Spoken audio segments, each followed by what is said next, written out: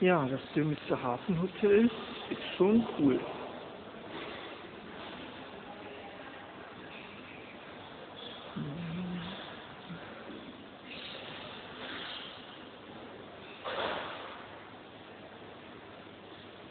Hier habe ich auch gleich die Störarbeit gemacht.